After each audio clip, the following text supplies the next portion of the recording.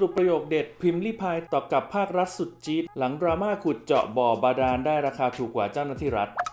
ลายเป็นที่วิพากษ์วิจารณ์อย่างต่อเนื่องนะฮะประเด็นการขุดเจาะบ่อบาดาลของกรมทรัพยากรน้ำบาดาลนะครับที่มีราคาสูงเกินไป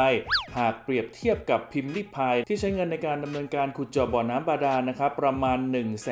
0 0 บาท โดยทางด้านพลเอกประวิตยวงสุวรรณรองนายกรัฐมนตรีนะฮะก็ได้ระบุถึงเรื่องดังกล่าวนะครับว่ากรณีราคาจะแพงหรือถูกนะครับก็ขึ้นอยู่กับความลึกของบ่อบาดาลถ้าขุดลึกก็ใช้งบประมาณมากนะครับทำให้ล่าสุดนายศักดาวิเชียนศิลป์อธิบดีกรมทรัพยากรน้ำบาดาลสั่งเจ้าหน้าที่ให้ลงพื้นที่ตรวจสอบ พบบ่อพิมพ์ลิพายนะครับเป็นบ่อบาดาลลึกแค่ 40 เมตร สูบน้ำได้ 4 ลูกบาศก์เมตรต่อชั่วโมงนะครับช่วยชาวบ้านได้แค่ 1-2 ครัวเรือนเท่านั้น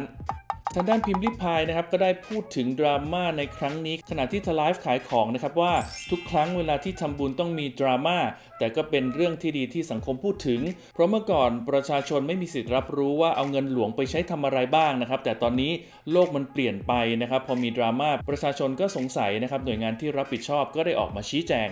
ทุกวันนี้โลกเรามีแต่คนเก่งเยอะขึ้นทุกวันนะครับ คนเก่งก็ยืนเบียดเสียดกันมากมาย จนไม่มีที่ให้คนโง่ยืนเลย แต่สิ่งหนึ่งที่โลกนี้ยังขาดอยู่ ก็คือยังขาดคนที่พยายามเข้าใจคนอื่นนะครับ และเธอจะไม่หยุดทำไม่หยุดช่วย ไม่ต้องมาเซฟพิมพ์ลิพายนะครับ ไม่ต้องการกำลังใจ เพราะกำลังใจที่ได้มามันจอมปลอมนะฮะ ถ้าวันหนึ่งเธอทำผิด เขาก็จะถอนกำลังใจออกไปนะครับ เธอจะยืนหยัดในสิ่งที่ทำและคิดหน้าคิดหลังให้ดีนะฮะว่าสิ่งที่ทำไปจะมีผลกระทบต่อใครบ้าง ส่วนเรื่องการขุดบ่อบาดาลก็ดูแล้วว่าไม่ได้มีผลกระทบกับใครนะครับ ไฟฟ้าก็ใช้จากโซลาเซลล์นะฮะ เธอทำทิ้งไว้ ถ้าเขามาใช้เธอก็ยินดี แต่ถ้าเขาไปได้ที่ดีกว่านะครับ ก็ให้เขาไปใช้ที่ดีกว่าเลย นอกจากนี้นะครับพิมรี่พายก็ยังฝากถึงผู้ใหญ่ว่า อย่ามองว่าเด็กสมัยนี้ไร้สาระนะครับ บางคนเป็นยูทูบเบอร์บางคนเป็น game streamer นะครับเขาก็ได้ทำสิ่งที่เขาชอบ ได้สร้างความมั่นใจและหาเงินได้ด้วยนะฮะเด็กรุ่นต่อไปเวลาเขานัดกันเที่ยวตามแก่งตามป่านะครับเขาก็จะแวะทำบุญดูแลชุมชนไปด้วยนะฮะ อยากให้ผู้ใหญ่มองโลกเป็นบวก อย่ายึดติดกับอะไร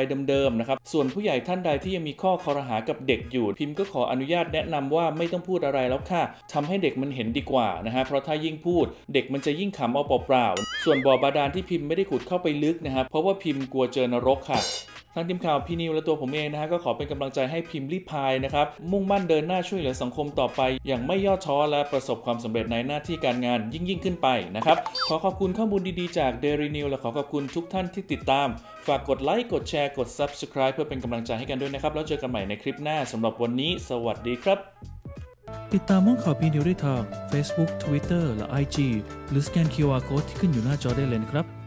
สำหรับคุณผู้ชมที่รับชมห้องข่าวพีนิวทางมือถืออย่าลืมกด Subscribe ตรงนี้ด้วยนะคะ